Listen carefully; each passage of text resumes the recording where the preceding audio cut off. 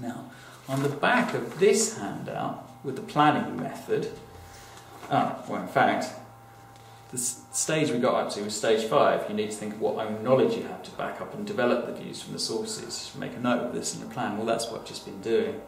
Stage six, you're now ready to write.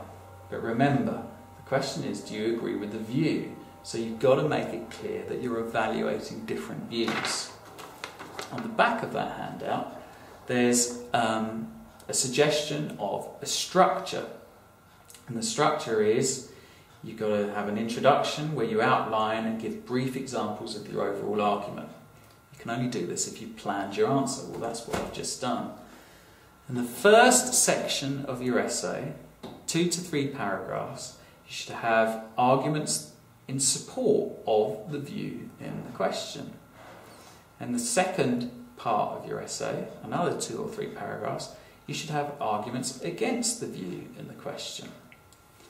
And this, what it says here on this handout is work out from the idea, work out from the ideas and interpretations of the sources. Start with these ideas and develop them with your own knowledge slash evidence that you've gained from reading, research, and lesson discussions. Now, what does that actually mean? Work out from the ideas and interpretations of the sources. Um, what it means is look at what the sources say. What are the sources actually about? And start with those as the basis of your paragraphs. But the way it's structured is in the first section, arguments in support of the view in the question. Second section is arguments against the view in the question. Well, that's what we've got here. We've got some arguments in support of the view in the question. We've got some arguments against the view in the question, and those arguments are based on the ideas of the sources. The ideas of the sources were tactics, technology, and leadership. So, this is how we're going to do it. I'm going to write section one. I'm going to divide, my paper into divide the sheet paper in two. I'm going to write section one. I'm going to have a paragraph on that that agrees. No, sorry. This section is going to be the evidence, the evidence in support of the view in the question. And I'm going to have a paragraph on tactics. I'm going to have a paragraph on technology. And I'm going to have a paragraph on leadership. And I'm going to include all those things that I've got in my plan here. Stuff I've got from the sources and stuff I've got from my own knowledge. And then in section two of my essay, I'm going to look at the evidence that challenges the view. Oops. And again, I'm going to have a paragraph. Well, let's have a look. Let's have a look. I'm going to have a paragraph on tactics. There's a fair bit there. Sorry, that's paragraph four, isn't it? I'm going to have a little bit on technology. A little bit. Short paragraph on technology. And there's quite a lot on leadership. I'm going to have a, uh, a decent sized paragraph on leadership. And looking back at the arguments in support of the view there, I haven't got much to say about leadership in terms of support of the view, that there was a revolution in terms of the leadership. So that's going to be a short paragraph. And um, the technology, not much advanced, that's going to be a short one as well. So, that's my plan. Six paragraphs, two of them pretty short, I haven't got much to say on them, but four fairly meaty ones. Um, and you've got to have an introduction and a conclusion as well. Well, what have I learned from all of this? Now I've got to do a bit of reflection. Well, there does seem to have been, based on the evidence that we've looked at here, I'd say well, you've got to make your own mind up, really. But I would say, based on what I've looked at, that there does def- I'd say there was definitely a revolution in terms of technology.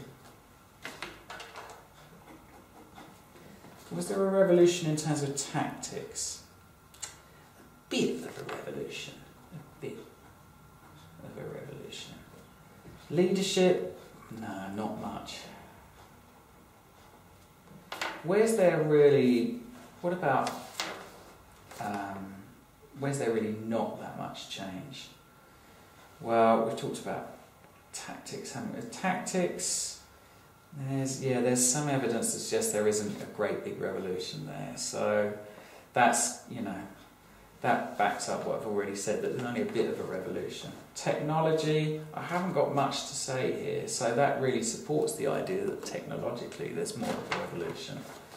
And in terms of leadership, um, there's more here really that suggests there wasn't a revolution in terms of leadership. So, my introduction and my conclusion is going to be something like that. Introduction. There is evidence, there is evidence uh, of a revolution in the art of warfare. In terms of technology, um, there's evidence of a revolution in, in the art of warfare in terms of technology and some advances in tactics, but least advancement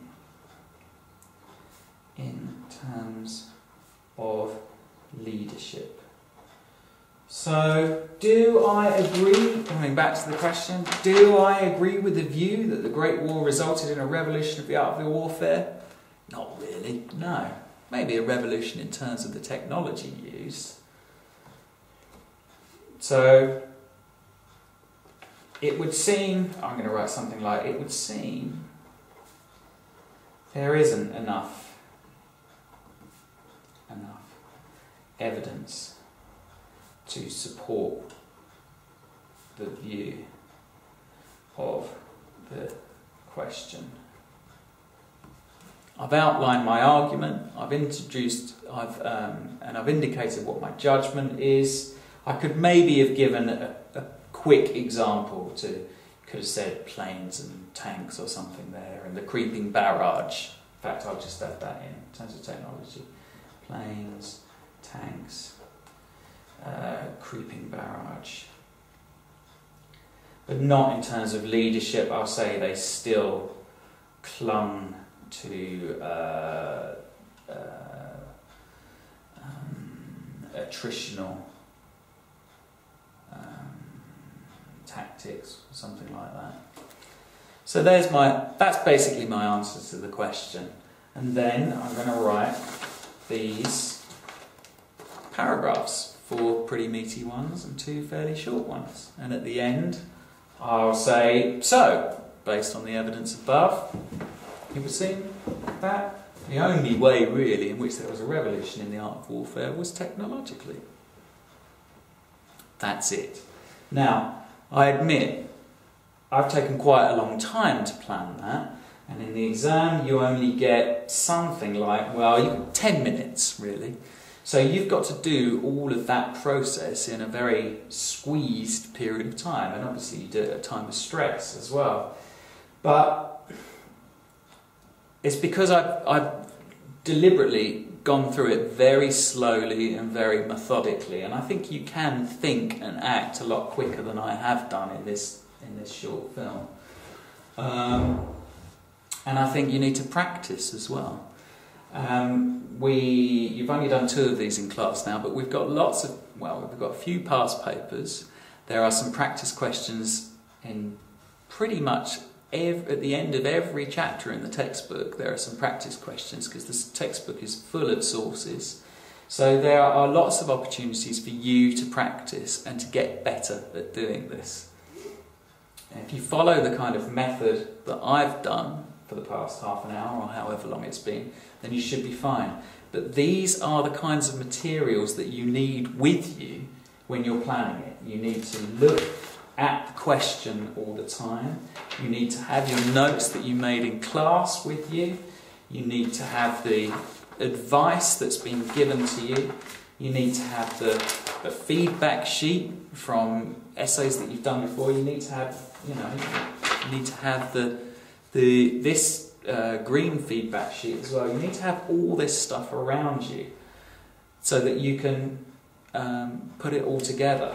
If you just sit down an hour and a half or something, or two hours before the essay is due, and you try and remember what we did in class, or you try and do it off the top of your head, then you're not going to do as well as you'd like to. And you're not going to get the grades you want, and that's going to make you feel less, I don't know, on top of things, and perhaps less sure of what you're doing. Um, so I think I'll pause now. I hope that's been helpful.